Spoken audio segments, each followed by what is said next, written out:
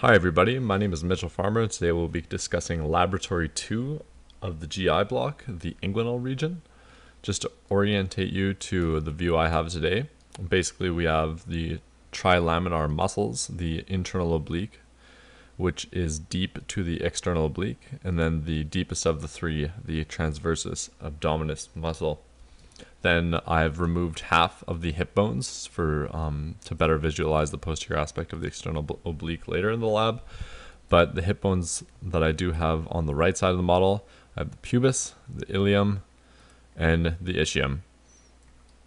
Then there's the spermatic fascia, um, which kind of demonstrates the spermatic cord really in this case. And then the inguinal canal kind of would extend roughly between here and here. It's four centimeters long, and that's going to be the topic of most of this lab. So I'm going to begin with the structure of the inguinal canal, which can be difficult to visualize, but it's taught in the cadaveric dissection, it's taught in lecture, and I'll be kind of going over it right now. So hopefully between those three things, you'll have uh, a pretty good idea about it. So I'm going to start with the roof of the inguinal canal, or the kind of superior wall or superior roof of the inguinal canal, which is made up of the overarching fibers of the transversus abdominis and the internal abdominal oblique muscles. So you can kind of see that the internal oblique muscles overarch atop this spermatic fascia, which is kind of where the inguinal canal would exist. And similarly, you can see how the transverse abdominis muscles also overarch. So that would be the roof of the inguinal canal. The next thing I wanted to go over is the anterior wall of the inguinal canal, which is made of the external oblique aponeuroses as well as superficial fascia and skin. So the external oblique aponeuroses on the model's left I have present, and you can see how they they being the most superficial of the trilaminar muscles, you could see how they would form the anterior aspect of the inguinal canal. And in fact, if I zoom out a bit and I add the external oblique muscles to the left-hand side of the model, you can see how it covers over top of what was once visible. So if I fade it,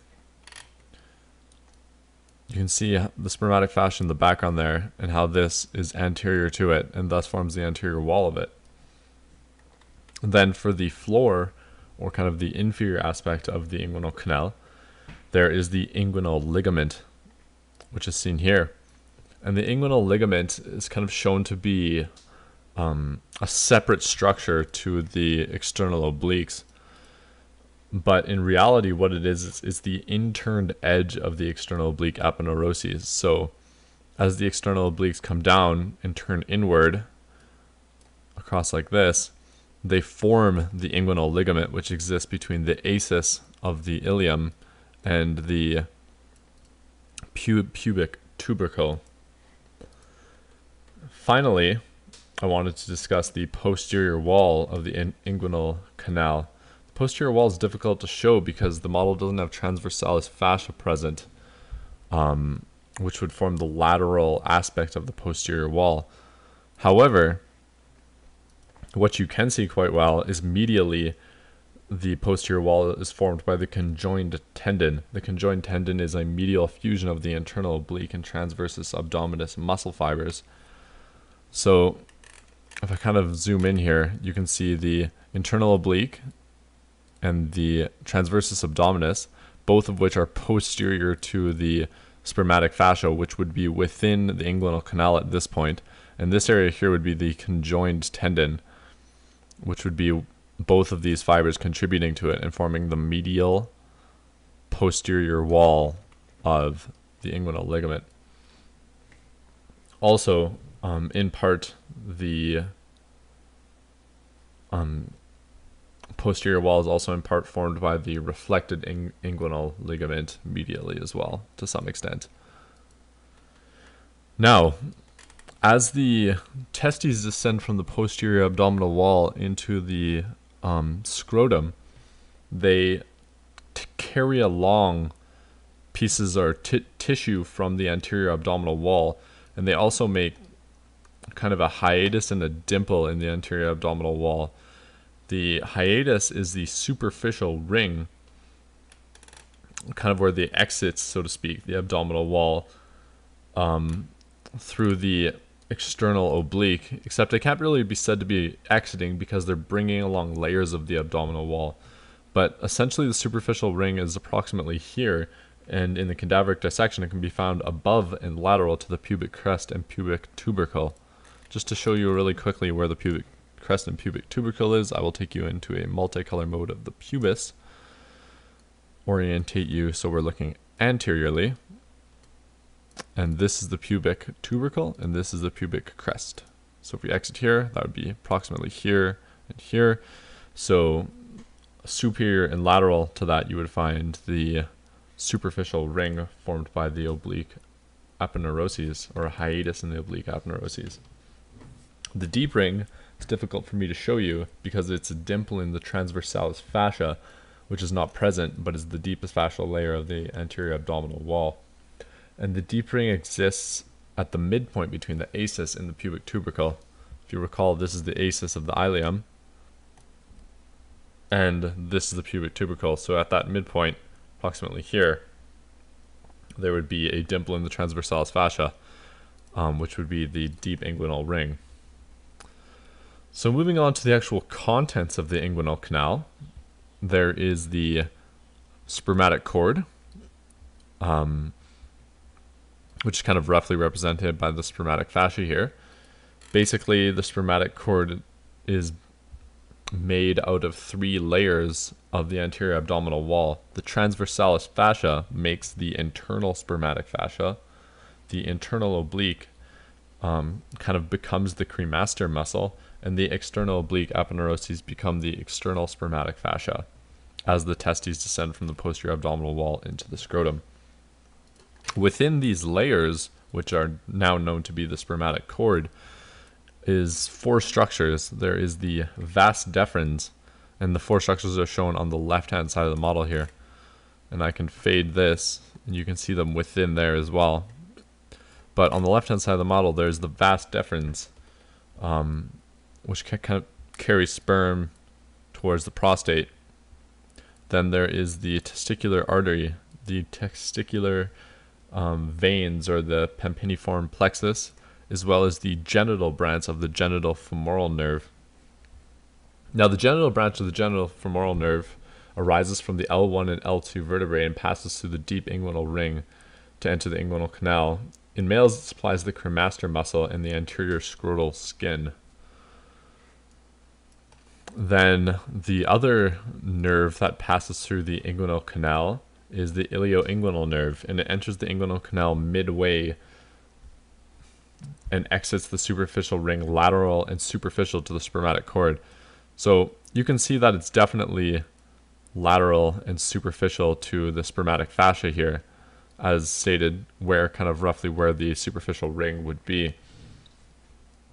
It branches off to supply the skin of the upper and medial aspects of the thigh as well as the anterior aspect of the scrotum. I don't have those branches in right now, um, but we will be reviewing them later in Repro and MSK, so we'll cover them then. And I guess just a note about the genital branch as well as the ilioinguinal nerve um, is that since both nerves derive from L1, they contribute in the male to the cremasteric reflex, with the ilioinguinal nerve as the sensory component, that nerve that's outside the spermatic fascia, whereas the genital branch is the motor component of that reflex. Finally, the last thing I want to mention is that in females, the obviously there is no spermatic cord, and instead there is the round ligament of the uterus which travels through the inguinal canal. And in females, the ilioinguinal nerve supplies the skin of the upper and medial aspect of the thigh along with the anterior aspect of the labius majoris. Now, the reason that all of this is important is because um, structures can herniate through the canal or in structures anatomically related to or close to an, anatomically related to the canal. So there's two types of hernias or two broad hernia categories. There's indirect and direct hernias. Now, in the case of indirect hernias, you often get bowel structures like the small intestine or greater omentum herniating from the abdomen into the deep inguinal ring, inguinal canal, and sometimes out of the superficial inguinal ring to end up in the scrotum, adjacent to the testes but outside the spermatic cord. So it would come in through the inguinal ring, through the inguinal canal, and it could actually enter the testes. And this is known as the indirect path. But since the structures that are herniating have to go through those layers of the abdominal wall, the same as how the spermatic cord did, you will have the same layers as the spermatic cord present around the said structures, that being the transversalis fascia, deep, the internal oblique, and the external oblique, superficially. Now, the indirect inguinal hernia involves the deep ring, and the structures involved, the small bowel, for example, will always be lateral to the inferior epigastric ves- vessels if you recall that vein which exists on the posterior aspect um, of like the inferior side of the rectus abdominis muscle as they engage the inguinal canal. So as contents engage the inguinal canal, they will be lateral to those to that inferior epigastric vein, and that's one of the ways to distinguish between whether the hernia is a direct hernia or indirect hernia. Because if the contents are engaging the inguinal medial to the inferior epigastric vessels, then it is a direct hernia. And what most often happens with a direct hernia is the contents herniate through the location of Hesselbach's triangle, um, which I will now review. So I'm just going to get rid of the external oblique on the model's left, as well as the internal oblique. And the transversus abdominis. So basically I've gotten rid of the trilaminar muscles in order to reveal the rectus abdominis and underlying structures. Now, Hesselbach's triangle, the boundaries are laterally, there is the inferior epigastric vessels. Inferiorly, there is the inguinal ligament. And medially, there is the lateral margin of the rectus abdominis. And this forms Hesselbach's triangle. And this is also roughly the site of the conjoined tendon, which is where you will see the herniation. So that's why if there is a herniation medial to the inferior epigastric vessels through Hesselbach's triangle, this is what's known as the direct route for, route for a hernia or a direct hernia. Finally, the last thing I wanted to talk about was the testes. So the testes aren't really well shown in this model, but basically there's the tunica vaginalis, not present here, but reviewed in Dr. Lemlin's lecture, so check that out. And that's forms forms a parietal and visceral layers, layer for, worth noting. But what is worth seeing, or what can be seen here, is the epididymi, epididymis, which is superior and lateral to the testes. Really, um, that's all that we can see really well. I'll review it a bit more in repro block, but the testes aren't really that complicated in this model, unfortunately. So yeah, that's basically everything I have to review in this video. I look forward to seeing you in laboratory 3 of GI.